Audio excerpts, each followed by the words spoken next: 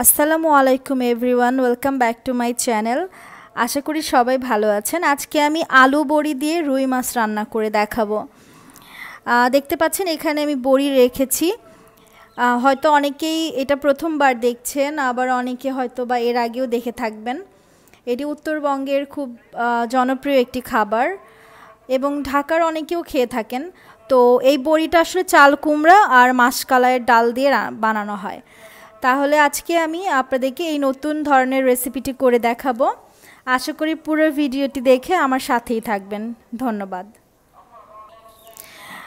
এই রান্নাটি করার জন্য আমি এখানে রুই মাছ নিয়েছি। রুই মাছগুলো আমি কেটে ভালো করে ধুয়ে নিয়েছি। এর সাথে এখানে আমি নিয়ে নিয়েছি আলু। দুইটা বড় সাইজের আলু আমি এভাবে কেটে নিয়েছি। তার সাথে এখানে নিয়েছি চাল কুমড়ার বড়ি। তারপরে এখানে নিয়ে নিয়েছি আমি হচ্ছে আদা বাটা, রসুন বাটা এবং জিরা বাটা। এখানে নিয়েছি পেঁয়াজ,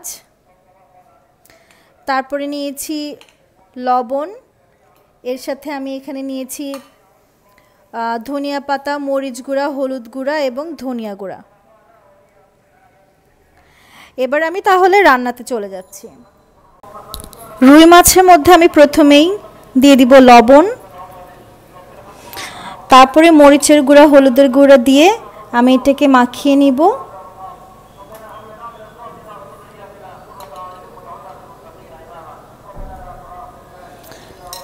এবার আমি এগুলোকে ভালো করে মেখে নিব, তারপরে মাছগুলো ভেজে নিব। কড়াইতে প্রথমে অল্প তেল নিয়ে আমি এর মধ্যে বড়িগুলো ভেজে নিব।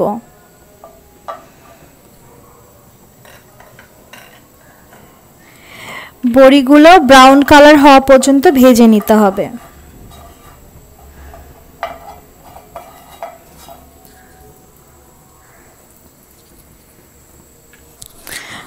বড়িগুলো ব্রাউন কালার হয়ে গিয়েছে, এখন আমি তুলে নিব। কড়াইতে তেল নিয়ে নিয়েছি, এখন এই তেলের মধ্যে আমি মাছগুলো ভেজে নিব।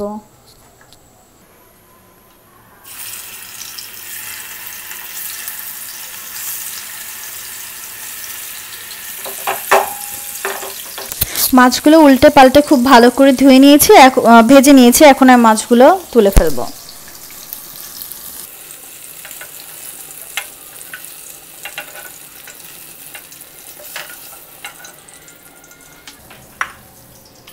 এখন এই মাছের তেলের মধ্যে আমি লবণ দিয়ে মাখিয়ে রাখা আলুগুলো দিয়ে দেব।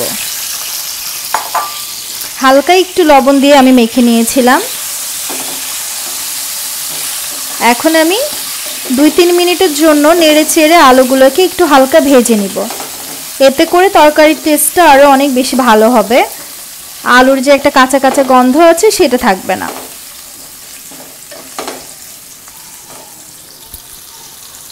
আলুগুলো তুলে নিয়ে তারপরে এই তেলের মধ্যে আমি পেঁয়াজগুলো দিয়ে দিই। এখন এই পেঁয়াজের মধ্যে একে একে মশলাগুলো দিয়ে দিব। এখন দিয়ে দিব আদা বাটা, রসুন বাটা, জিরা বাটা।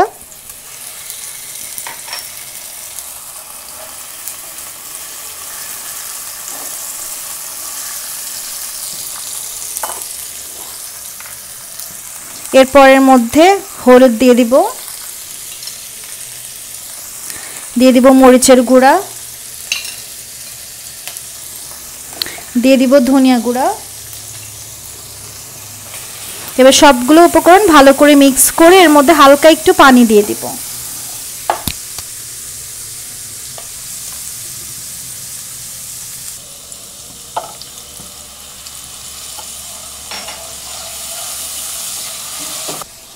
মশলাগুলোকে পাঁচ মিনিটের জন্য রান্না করব। এখন এই মশলাটার মধ্যে আমি টমেটোর পেস্ট দিয়ে দিব। আমি এখানে একটা টমেটো এভাবে পেস্ট করে নিয়েছি। এটা দিয়ে দিব। দিয়ে আমি একটু নেড়ে চেড়ে নিব।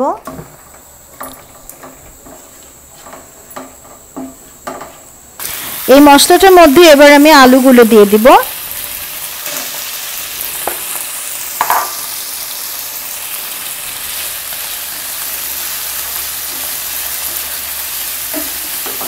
আলুগুলো দিয়ে একটু কষিয়েই আমি এর মধ্যে পানি দিয়ে 10 মিনিটের জন্য ঢাকনা দিয়ে লো হিটে রান্না করব যাতে আলুগুলো সিদ্ধ হয়ে যায়।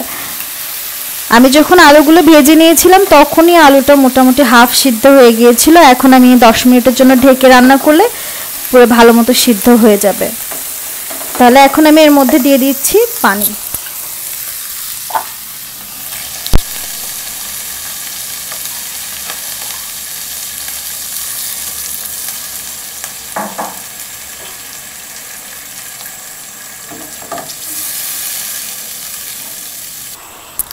আলুগুলোর মধ্যে আমি বড়িটাও দিয়ে দিব, কারণ বড়িটাও সিদ্ধ হতে অনেক সময় লাগবে।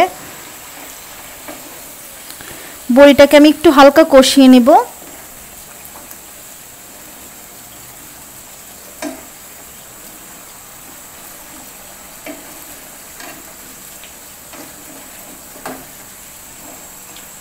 এখন আমি লো হিটে এটাকে রান্না করব।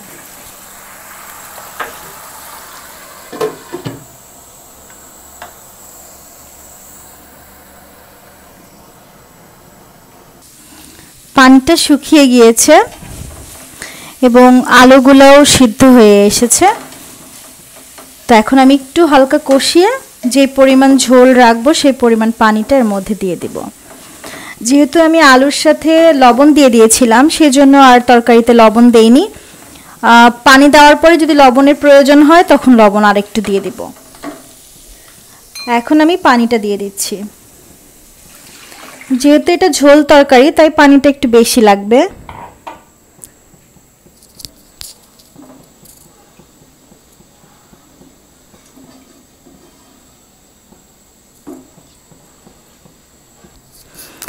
এই পর্যায়ে আমি চুলার হিটটা বাড়িয়ে দিব।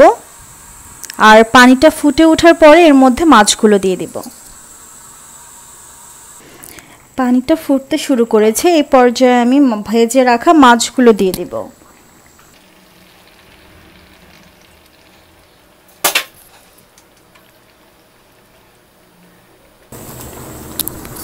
মাছগুলো দিয়ে আমি পাঁচ মিনিটের মতো রান্না করব, চেখে দেখব লবণটা হয়েছে কিনা। আমার আরেকটু লবণ লাগবে, তো স্বাদ অনুযায়ী আমি দিয়ে দিচ্ছি আরেকটু লবণ।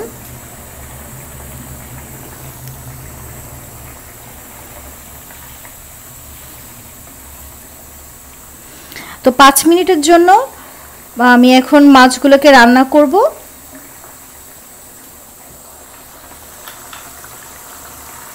ফিরে এলাম পাঁচ মিনিট পরে। দেখুন বড়িগুলো ফুলে কত বড় হয়েছে। খুব সুন্দর করে সিদ্ধ হয়ে গেছে। আর আমি যে এরকম ঝোল রাখতে চাচ্ছি, ঝোলটাও ঠিক সেই পর্যায়ে চলে এসেছে। এখন আমি এর মধ্যে জিরা গুঁড়া দিয়ে দিব। এই তরকারিটার মধ্যে জিরা গুঁড়োর ফ্লেভারটাই সবচেয়ে বেশি ভালো লাগবে। তো আপনারা অবশ্যই চেষ্টা করবেন জিরা গুঁড়োটা দিতে।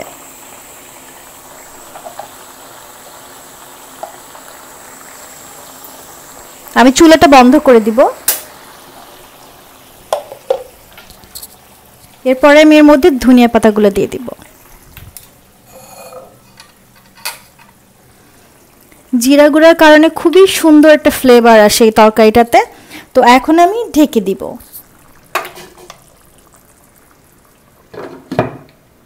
আমার রান্নাটা কমপ্লিট হয়ে গিয়েছে।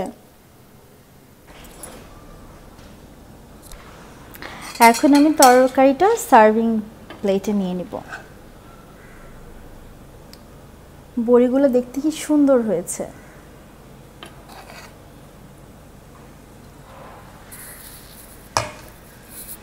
আমার রেসিপিটা যদি আপনাদের ভালো লেগে থাকে, অবশ্যই আমার চ্যানেলটি সাবস্ক্রাইব করবেন। এবং পাশে থাকা বেল আইকনটিতে চাপ দেবেন। না।